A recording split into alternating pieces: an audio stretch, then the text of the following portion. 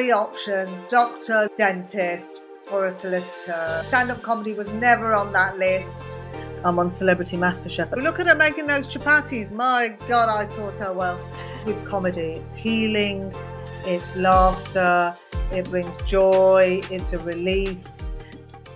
Hi, welcome to Changing Suits. My name's Bal. And my name's Taj. This week's episode, I'm quite excited. I'm gonna, I said earlier to our guest that I'm gonna contain my excitement, but we'll see how it goes for the rest of the podcast because you know me, I'm a bit emotionally crazy sometimes. So today we've got the lovely Shazia Mirza on. Hiya, Shazia, how are you doing today? Hi, hi. It's great. Thank you for having me on here. No worries. So when um, I've spoken to Taj about finding guests, I've always been like, look, we need someone really funny. And when she said your name, I was like, you're lying to me. Yeah, you did have to double check my messages and make sure I was telling the truth, which I won't be offended by, to be honest. Well, you did hound me on Instagram, and I thought this woman is not going to stop stalking me. I'll just, oh, okay, I'll just. I'm well known for that, to be honest. I'll just say, yeah, okay, to shut her up. that's that's pretty much how most people work with Taj. so today we want to discuss with you what is it like being a South Asian within the whole realm of comedy.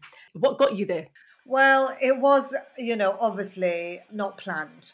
As you know, South Asian women and men, you know, they were only ever three options doctor, lawyer, dentist or a solicitor or something respectable. Stand up comedy was never on that list. I never saw any South Asian women on TV when I was growing up. And, and then later on, when South Asian women did come on to telly, they were always reading the news. And that was considered to be like, if you're going to be on TV, just read the news. You know, that's an acceptable thing for an Asian woman to do and it's it's so funny now because I think that stereotype of Asian women has been ingrained into people, not just other Asians, but like black people, white people, just ordinary everyday people see Asian women in a particular role. So, like, I remember a few years ago, I was on holiday on, in the Caribbean, and I was walking down this beach, and this woman ran up to me, and she went, I know you. I know you from somewhere. Where do I where do I know you from? I do know you.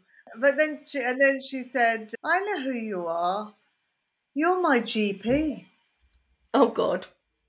How did you take that? Because I thought at that point I would have been like, You are my GP. Did you get your steps and, then, and start giving her a general? Um, I thought it was so funny. I actually done a, did a routine about this about how everybody thinks I'm I'm everyone but me.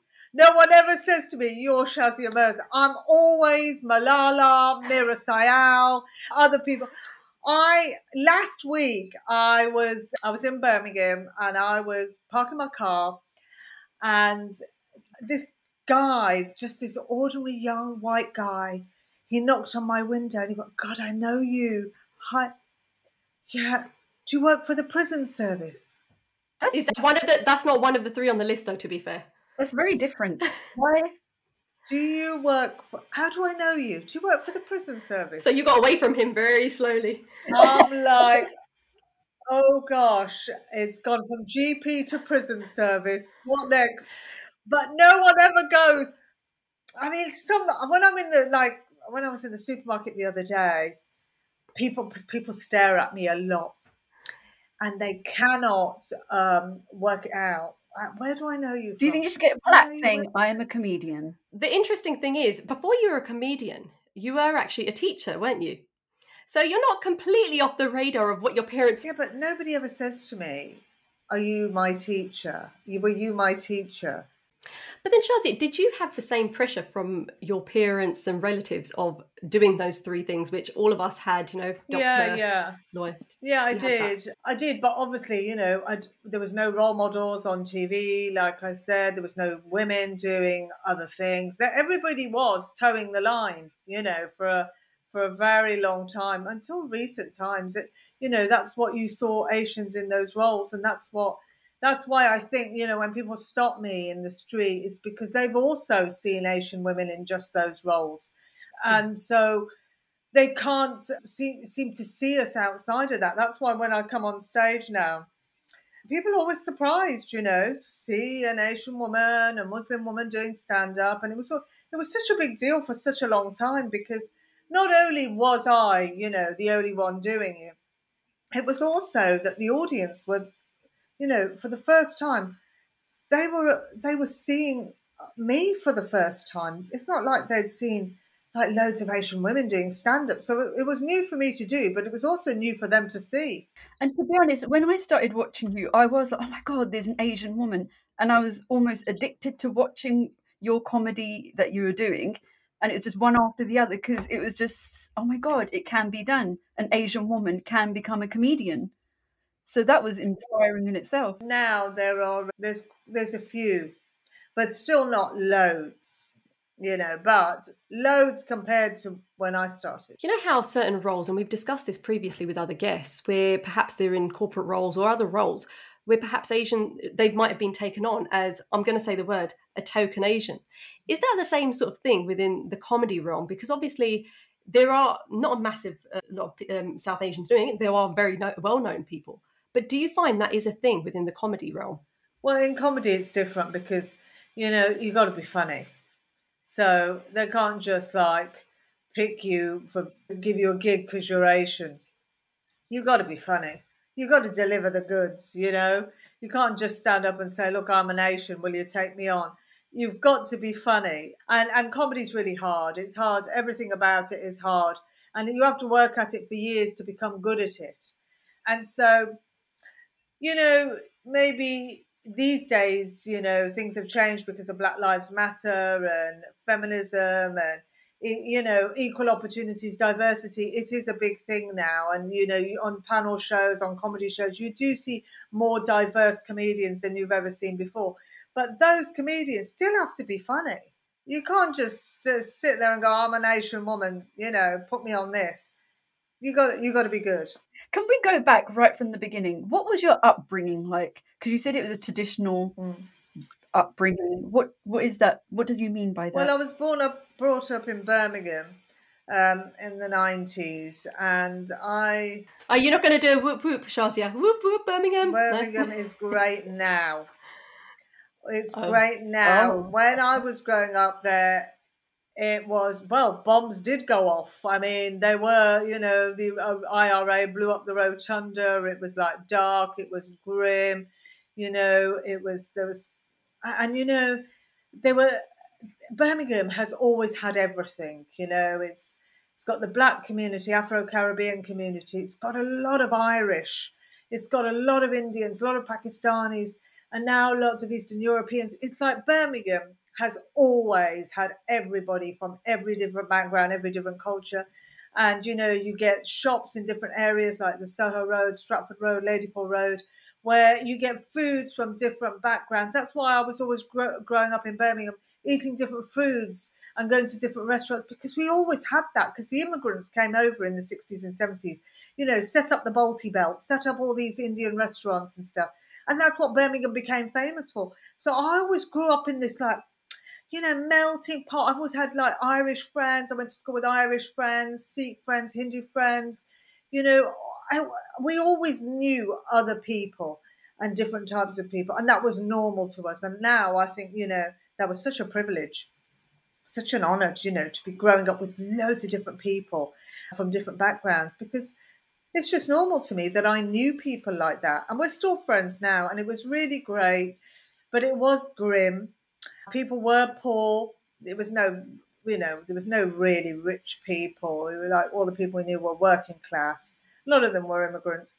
But we had things like the Bull Ring, which was great. The Bull Ring Market is famous in Birmingham.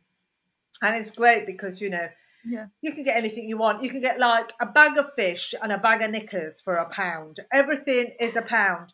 It's like so diverse, you know. You can get anything you want. You can get like a bag of fish and a bag of knickers for a pound. Everything is a pound. It's like so diverse, you know. You can go in there get kitchen utensils and then you know, you go in there you, in those days, you know, the 90s, you could get a real fur coat and then you'd walk past and you'd see like a chopping board and you think, oh, yeah, that's great, let me get that. And then you'd like get a bag of stockings or Christmas cards. And everything was always a pound. and it was really great because you could barter with people and go, oh, you know, if I buy these knickers and I buy this chopping board, can I have them for 150? And they'd always go, yeah, yeah, yeah. And I loved like, I love like that background of like, people were very flexible you know, and not like nowadays, you know, you go into a shop and if something is ten ninety nine, you've got to pay ten ninety nine for it. In those days, you could really barter. You could really, you know, you could go in and say, "Look, can I have this?" I was going to say, you know, inflation took hold when you went from one pound to ten ninety nine, though, Shazia, right? Oh yeah, but uh, but also in back then, you know, if you wanted like to buy a TV, and you and it was like 150 pounds, you could say, "Look, can I pay you five pound a week?" And they'd go, "Yeah, all right then." And you, you you get the TV, and then you just be paying it off for the rest of your life. Whereas now, you know that kind of thing it doesn't happen. But growing up you you saw all these kind of things. People bartering you know because everybody was just trying to survive then. Birmingham was poor. It was deprived. But you know i go back there now and it's quite there's a lot of affluent people. It looks quite nice now that it's finished. They've done it up. The bullring looks amazing. But and, and i come home and i hear the accent I hear the accent, and there's something like, oh, nostalgic, and and then and then and then it's really weird. I could spend a week there, and I start talking Birmingham as well. And people say to me, like I met this guy once, and he said to me, "Where are you from?" I said, "I'm from Birmingham." He said, "Can you speak Birmingham?" I said, "It's not a language." It's, not, it's like a, it's a city and it's an accent, but it's not a language. He said, "Can you speak Birmingham?" I can understand what you mean because I've got a um, nephew and niece, and they're actually staying with us, and they they're from Warsaw, and my children start speaking Warsaw, Birmingham. this is the language thing. Accent. They, do the accent. have the accent, and I'm trying to do it as well, and I'm like, okay, why am I doing this? but, but Shazia, can I just ask, do you think you've still got the accent? Because from my point of view, I've definitely got it. I've been in Birmingham for about three weeks now, and Oh. You know what? When you go to Birmingham and if you don't have the accent, people think that you're up your own ass. People think that oh, oh you, really? you, you, you, you, are in London. You don't live here anymore. You, you're in London. But Shazia, what's really interesting is you know, in regards to our podcast, the reason we started it was very much to look at how the Eastern and the Western culture sort of sort of combined and came together because we are living in in the UK and how you know our parents and family have had an effect on us. How would you say, you know, there's things you've already mentioned in regards to Birmingham being that melting pot. But for you, did you find there was a divide and did you find it difficult to overcome that divide or how did you overcome it? The Western and the Eastern cultures, because they are, as we know, very different. Well, like for us, if you're born here, it's it's different. I think if like my mum's generation, she came over from. My mum was born in India, in Gujarat, in Jalandhar, in between before partition, and, and then she went from India to Pakistan, married my dad, and then came from Pakistan to Birmingham. So not much difference really, Pakistan to Birmingham. I mean, they integrated really well. And the thing is, they. Um, I think for her generation, it probably was like a real culture shock.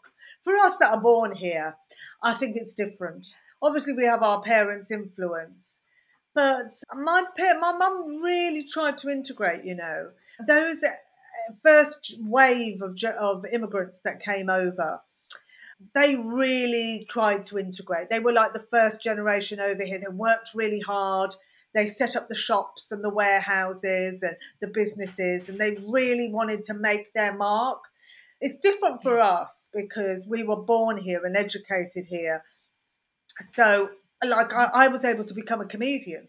Like, nobody from my mum's generation would ever have done that because the avenues weren't there for them.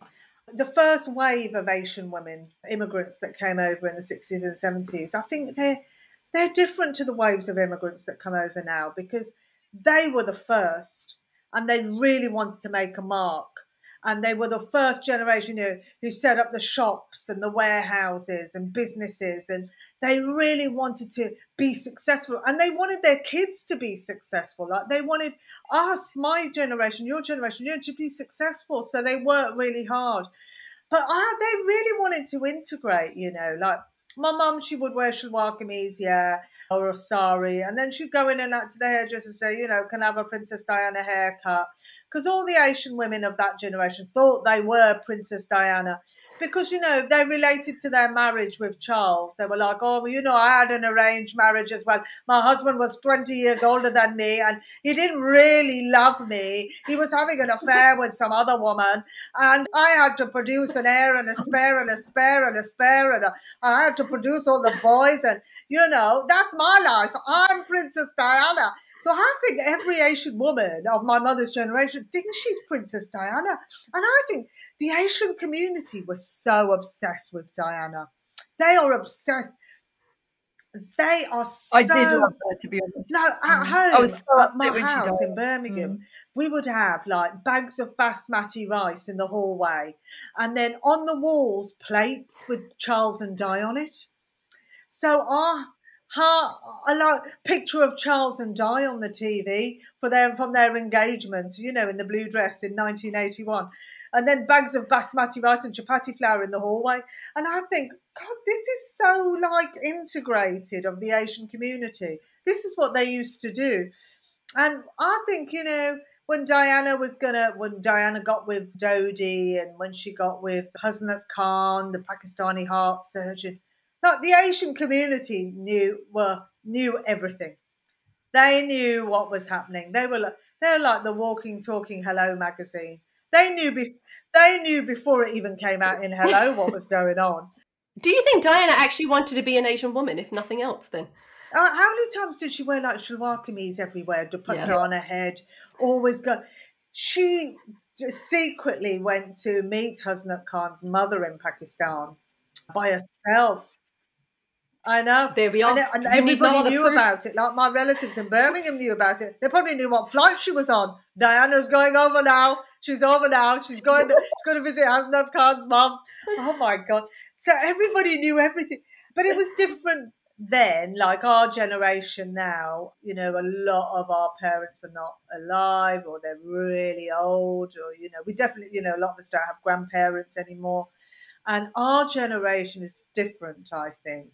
You know, with with the fact that obviously you were brought up in Birmingham Mm. when things were very hostile. You know, it sounds like your family did you really Yeah. did try to integrate. I mean, what else do you need? Your mum was getting the Diana haircut. You don't need anything else.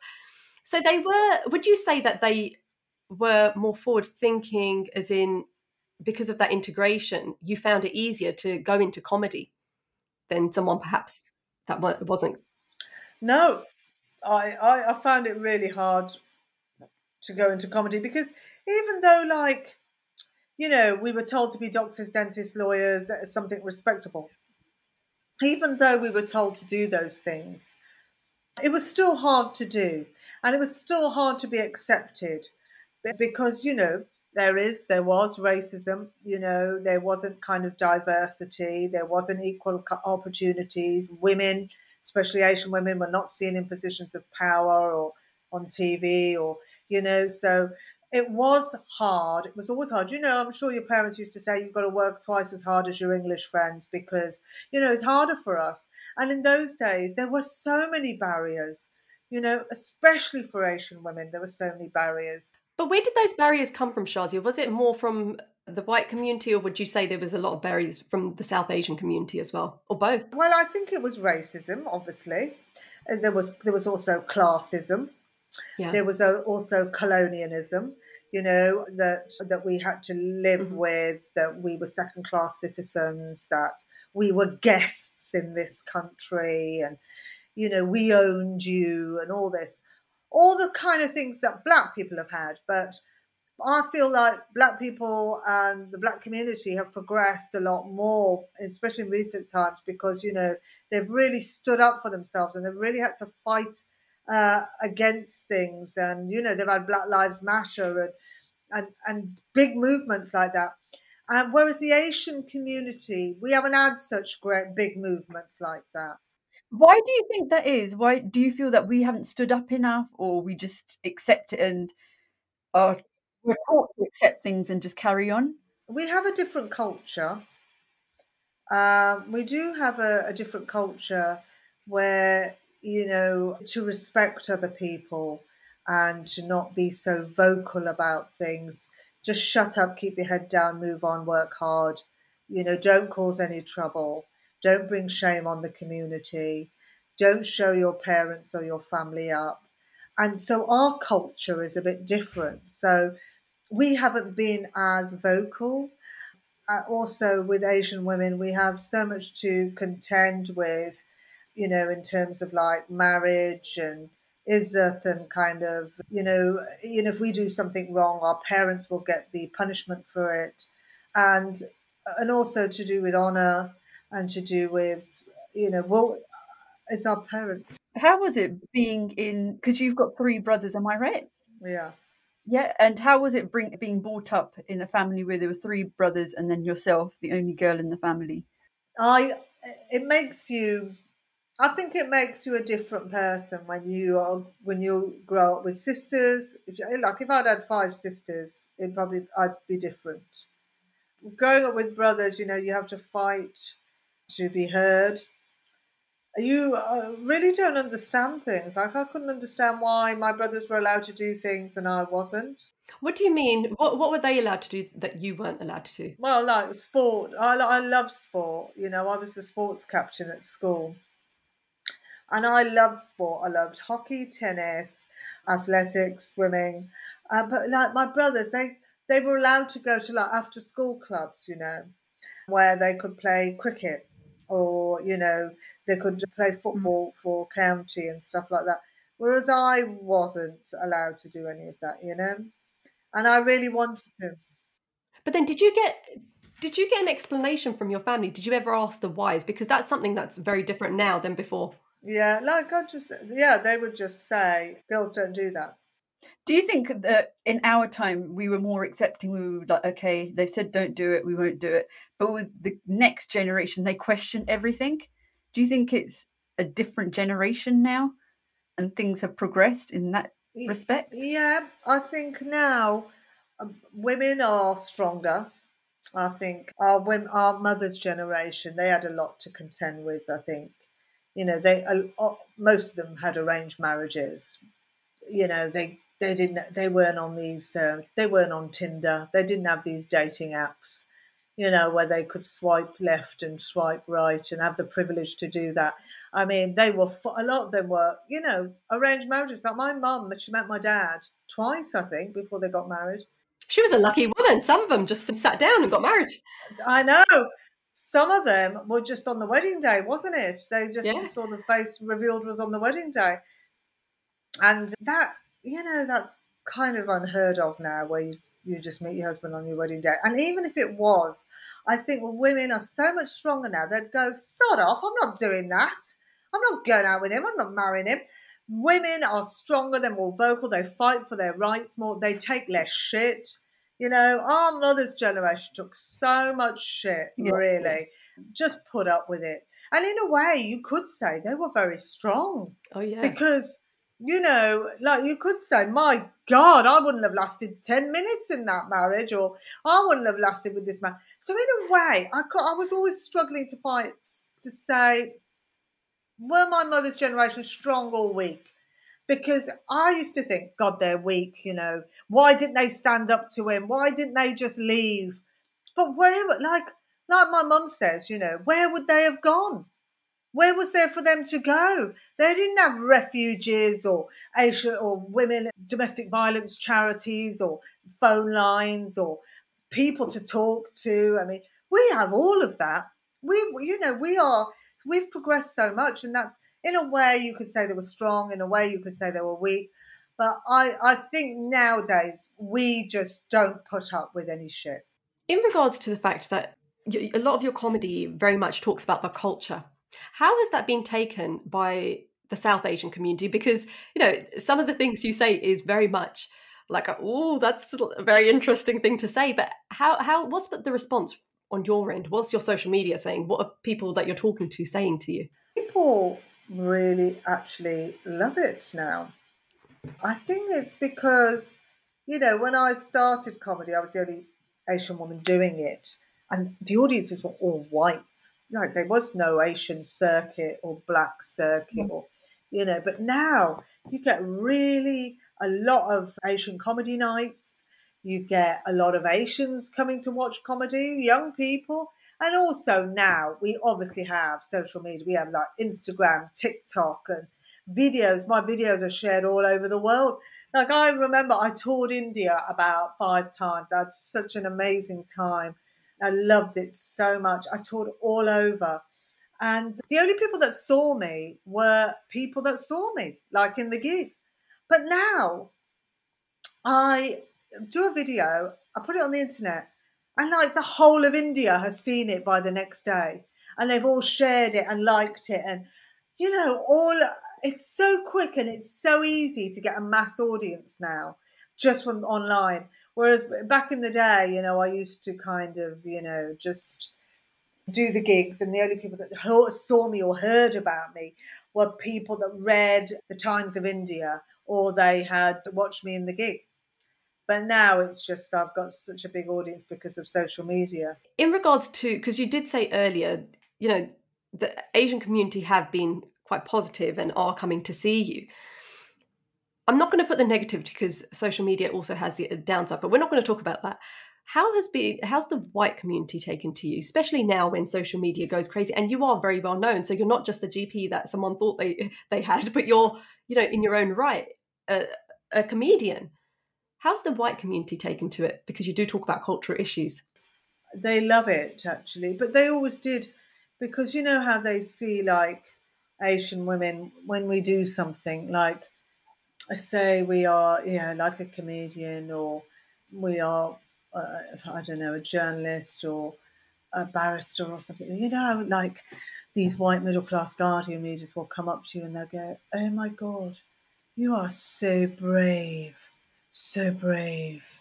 It's amazing what you're doing. Oh, so incredible. You're so amazing. Your parents must be so your your so your parents must be so proud. Yeah. So proud. It's like I don't know what we don't talk like that in London, um, Shazia. You're doing the whole overemphasis of the accent. the people I meet in the street, oh, you're so brave you know, they think that you know doing comedy I'm brave because I don't know what they think. I, Why is that? I think they, they have a stereotype of how we are and how we're brought up and how our families are, and also how there was never any Asian faces on TV for years and years and years until now. That they think, wow, what must you have been through to get here? But then, don't you find that really interesting? And and that that's the sort of thing I was trying to sort of wondering if they sort of have that stereotype. Do you then get the slight sense that there is, you know, we're always talking about the over the last few weeks because the colonialism and the partition anniversary. We've spoken about the whole white hierarchy and obviously that sort of structure that not only goes on here in the UK but it goes on around the world. Do you feel that there's a slight hint of racism, or is it just the fact that you're raising awareness. Yes, you're doing it in a funny way, but they're sort of seeing that they would have thought that it was all negative what you went through. But in essence, it wasn't completely all negative. You know, like comedy is really about bringing joy to people. It's about making people happy and about making people laugh. You know, I'm in yeah. the business of making people laugh. I'm not here to make anybody's life a misery. You know, I don't go on stage and think, oh, who can I, who can, whose life can I ruin tonight? You know, I, it's all. Some of the comedians think that. I've uh, seen that on stand up. It's quite scary being on the front row. I well, we're not out. We're in the business of making people laugh. We want people to be happy. We're not here to bring misery to people. So I always see it as, you know, I'm here to bring some joy to you. If you turn that into some kind of misery, it's your problem because I'm not here with that intention, you know. And I do sometimes have people stop me in the street and say thank you. It's mainly, it is mainly white people because they do, they grew up with comedy. It's in their history, you know, Monty Python, Fawlty Towers, you know, all these famous sitcoms, Porridge, Only Fools and Horses. We've had, we've had a history of comedy in Britain since time began. So they do appreciate comedy. And I've honestly, I've had a lot of people stop me in the street when they don't think I'm the, the GP or Malala or Meera Syal. When, when they do stop me in the street, sometimes they go, thank you, thank you. And that must be an amazing feeling to think that you're bringing joy to people's lives. Well, that, that the thing is with me is that that is what I'm here for. I'm here for the laughs, aren't I? I'm, I'm here to to create laughter. And so when people say to me, "Oh, thanks for the laughs," it's just it's great, really. That that because that's what I do. That's my job. So you do talk about quite a few sensitive topics. Have you ever had any backlash from our community? Not to my face. You know what it's like. They always love going behind your back, don't they? As long as you don't know about it, who cares? It's all good. I mean, they they kind of like writing stuff, don't they? They love to email you Uh, email me and go, oh, you know, you're not funny. Well, thanks for letting me know. It's been going quite well so far, but you don't find me funny. Okay, fine. Don't watch me. But they, I never have anybody say it to my face. How about your family and your loved ones? Obviously, like Taj said, you do talk about very, you know, quite sensitive topics and they can be controversial. Have your family ever worried for you or ever said to you, Shazia, perhaps you want to tone that part of the comedy down? Or has it been like, no, go for it, do what you need to do? They don't, they've never seen me uh, live. They do watch me on TV. I'm on Celebrity MasterChef at the moment, and they have been watching every every single episode with great interest. That's because it's Master Chef. It's like, oh, my girl is in the kitchen. It's fantastic. I know. Look at her making those chapatis. My God, I taught her well. Oh, my mom did look at one the other day and she went, That one is not quite round, but I think you got away with it. we all get that comment, don't we? not quite round. Okay, okay. Sorry, I didn't have a compass. Sorry. Uh, they are, yeah, you know, they do watch everything I do on TV. They like to watch it on TV. It's a safe space, you know. If it gets too rude, they can always turn it off. But in real life, I think it'd be a bit too much for them, you know. Why do you think it would be too much for them? Well, they never really grew up with comedy, did they? They they just didn't really grow up with it. It's not part of our culture. And how about if, if you had someone that came to you and said, "Look, I want to get in, get into the comedy scene from the South Asian community," I mean, it is a lot easier than it used to be. What advice would you give them? Well, this is something that they really have to want to do. You know, it's got to be a real love for it and a passion for it because it's really hard and you've really got to put the work in. How many years were you doing? Because obviously you were teaching prior to being a comedian. How many years? I was teaching. No, I was I was teaching at the same time that I actually started comedy. And how many years before before you know you got to a place where you're like, I'm actually really comfortable with this. I think I can do this. How long was it before you did leave your teaching career and say, I am going to make a career out of comedy? Oh, it, it was it was a long time, you know. It was a really long time. It was really, really, God, it was so long. I mean, I I've been doing comedy. Well, I had been doing comedy about seven years, um, and I was teaching at the same time. And then I went part time, mm. still teaching, then eventually I left, but it was a, you know, it was a gradual thing. I didn't just give up my job and say I'm going to be a stand-up comedian. And you must never do that, you know, because comedy's hard and you've got to work at it. That is a nice bit of advice, isn't it? This you've got to work at it.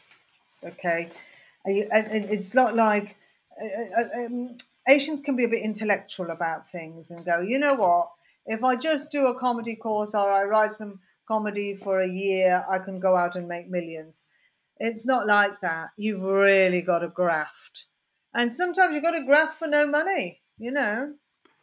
What do you mean graft? What does it mean? Being a comedian, grafting, what does that mean?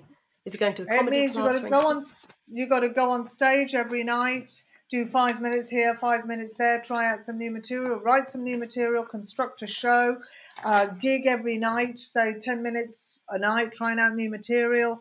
You've got to really write new stuff. You've got to go to Edinburgh. You've got to do gigs for no money for a long time. It's really hard.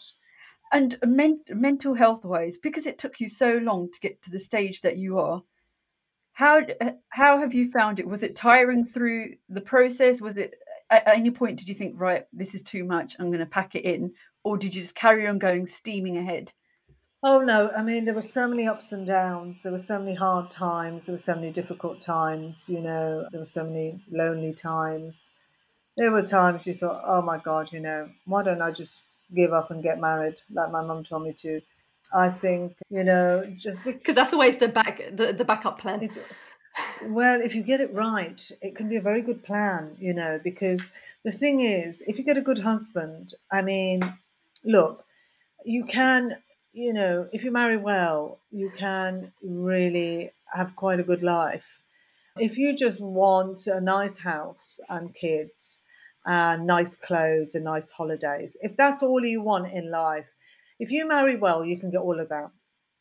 You know, but if you actually want to do something yourself, make a mark in the world, change something, have some impact, help people, then you have got to put that work in yourself. It's something that you can't really marry into.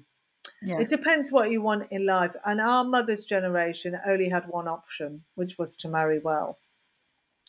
And and it was a bit of a lottery eh, who who got the good ones and who got the bad ones. Um, so can then I ask you what it is that you want, just out of interest, because you've made a really important point there in regards to what it is you know that people want out of life. What kind of impact are you trying to create especially with the comedy that you're you're going out there you're talking about culture you're, you're trying to make people happy? What what's the impact that you want to create in this world i guess? Well i love i love comedy. You know that's my that's my uh, medium that i do everything through is through comedy so i if i want if i have something to say if there's something i'm angry about um, want to write about it if I want to, you know, write a book or write a TV show, whatever my subject or topic is, I can always do that in the form of comedy. That's my avenue. And I can yeah. do, I can say things, uh, serious things or dark things, and I can make people laugh at the same time as saying those things. So I can get those things across.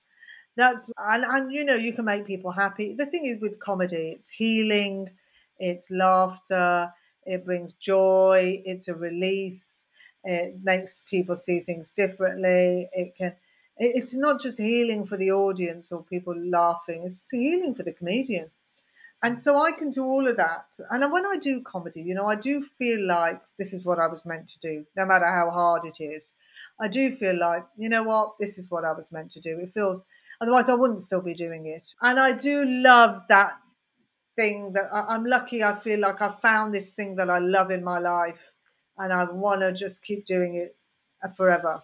And that's really interesting because I think when you find a career, especially if it aligns with your values and you're happy doing it, that makes a world of difference to you and the people around you. And that's it sounds like that's what you've sort of struck gold on, I guess.